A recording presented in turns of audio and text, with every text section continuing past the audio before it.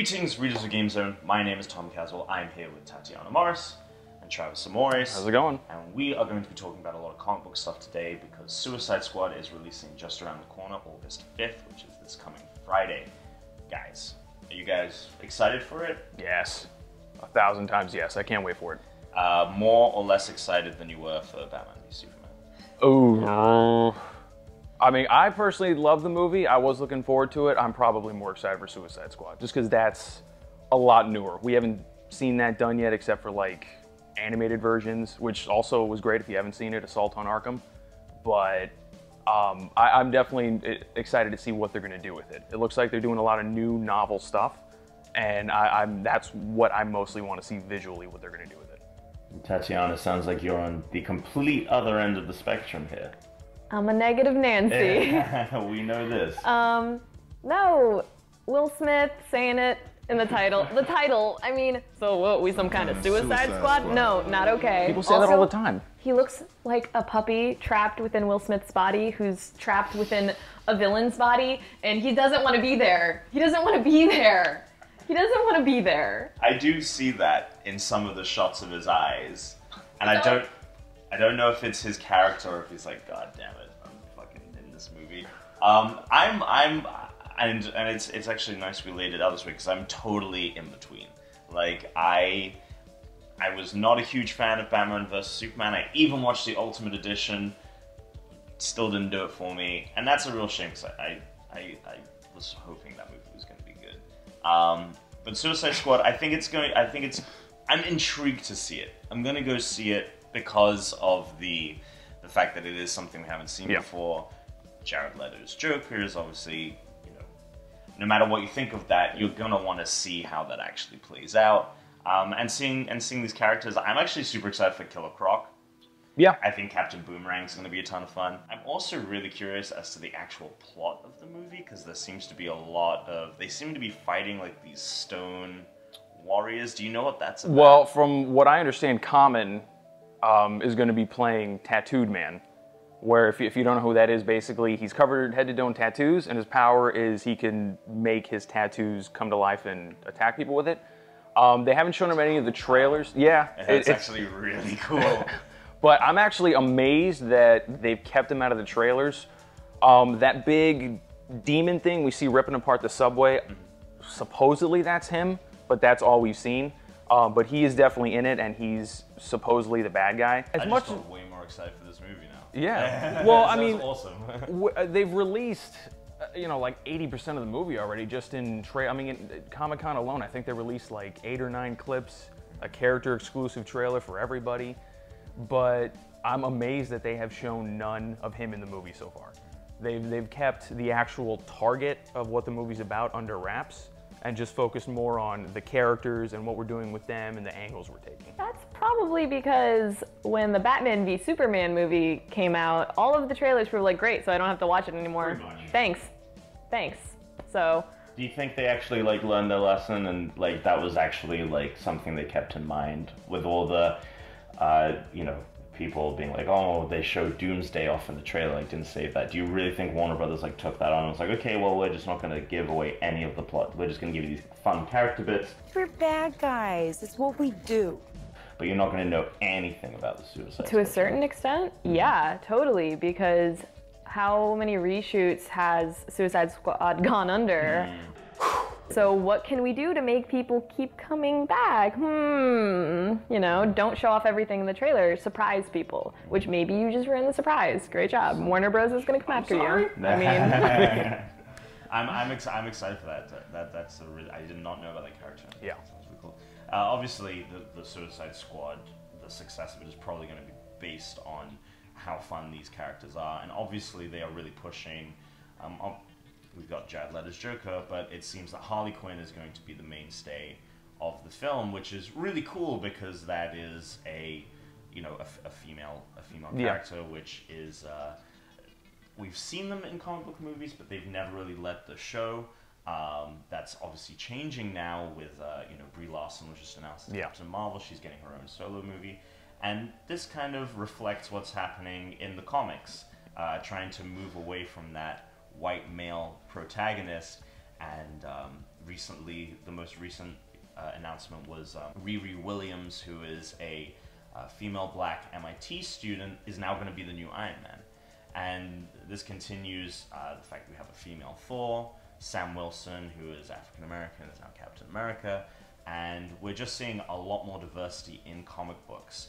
Um, how do you how do you how do you take this of them like taking these classic characters and giving them a new spin, making them new people? I've thought a lot about this, and honestly, it, it really does depend.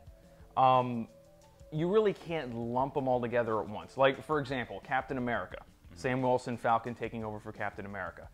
That's that's felt very natural because Captain America is is I guess what you would call a legacy hero, where there's been different people to don the mantle and it kind of gets passed on. There's been a lot of people to be Captain America, and even in the comics, Cap and Falcon team up all the time. Right. So that felt very natural.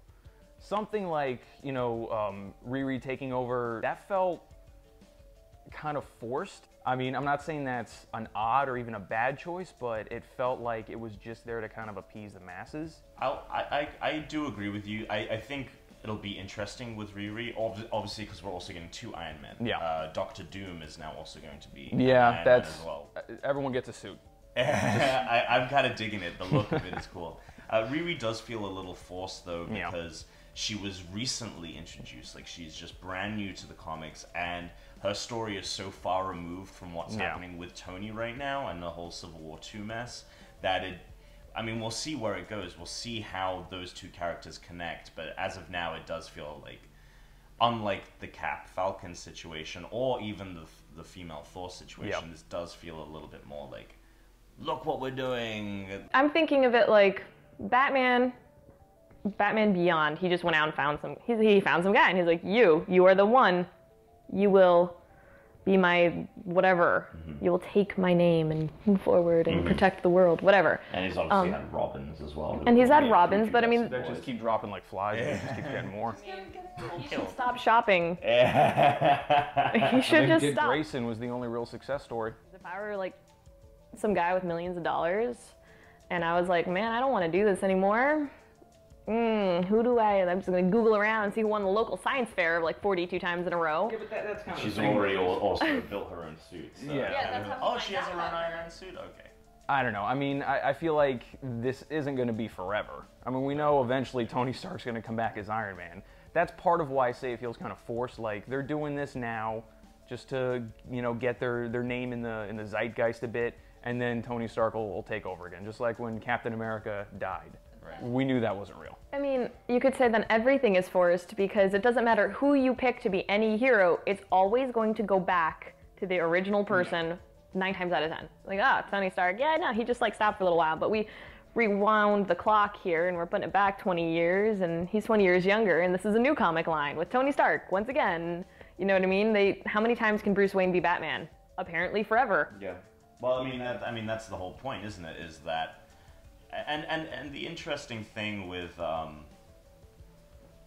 with with these characters is we have Steve Rogers Captain America back Yeah. now, and we still have Sam Wilson's uh, Thor and the uh, uh, Sam Sam Yeah. Wilson Sam Wilson. So when did that Thor, happen? That's going to be a great. That, that's going to be the next step is they make him Thor. So we we have both Captain Americas, and in the fall they're going to be releasing two Thor comics, Yeah. one following the old unworthy Thor, and then one following the uh, Jane Foster's Thor.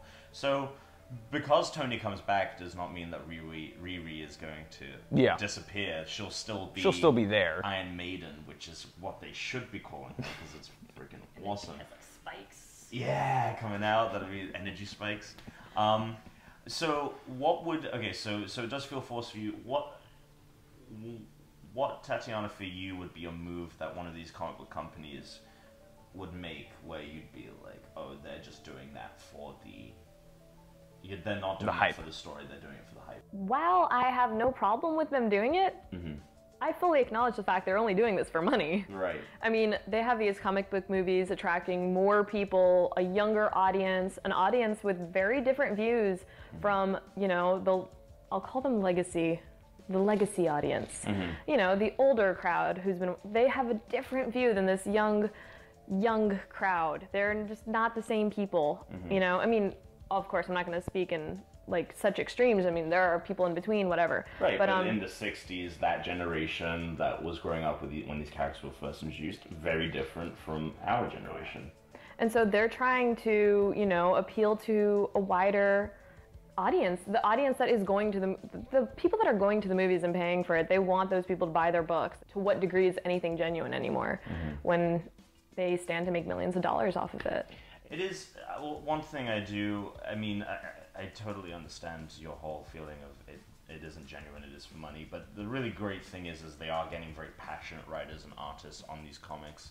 Um, you know, someone like uh, um, the writers and people that are working on uh, the Miss Marvel comic. You know, Miss Marvel is now a, a, a teen Muslim girl. Yeah. Uh, that comic is awesome, and the things they are doing with these characters, like Female Thor, that comic's been really great, and Yeah. like her arc has been great. Sam Wilson's Fal- uh, Sam Wilson's Captain America, very interesting take on why he differs from Captain America. Yeah. So I'm actually very hopeful that when Riri does don the Iron Man suit, that they are going to do something fresh because you.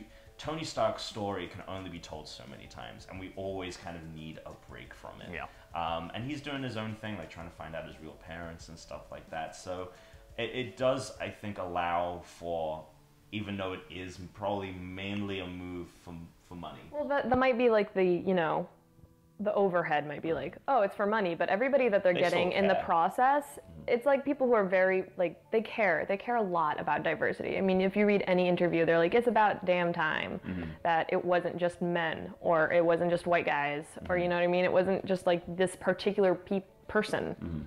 And we also have things like A Force, which is, you know, the, it is. Though none of the characters really on that are, are new, but it is a, f- a team of all female superheroes. Um, and yeah, I, I, I agree. I think even though maybe the ultimate thing, I mean, the ultimate thing that pushes anything is money, but they do care about these characters. There is an underlying, you know, they're not just doing it without kind of any plan. Yeah. And people are having a tough time with it because I feel like nobody really likes change. They don't like somebody being like, this is what you know, and that's great, but we're going to put it over here and we're going to take this out. And we're to be like, you're to like this. Right, right. Nobody likes that because they're like, but I ordered fish and I, you gave me you gave me turkey. I didn't want that. well, Gotta burn this place to the ground. That's how the internet works, yeah, you know? pretty much, pretty much. So what do you guys think about uh, either Suicide Squad or the new changes that are happening in the comic book industry? Uh, leave a comment below. And for all future comic book news, stay right here on GameZone.com.